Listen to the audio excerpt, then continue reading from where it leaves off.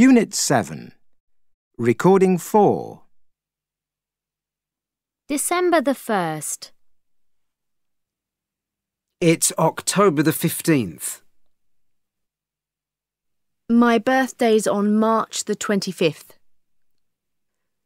Tomorrow's September the 21st. Yesterday was April the 16th. We come home on August the 8th.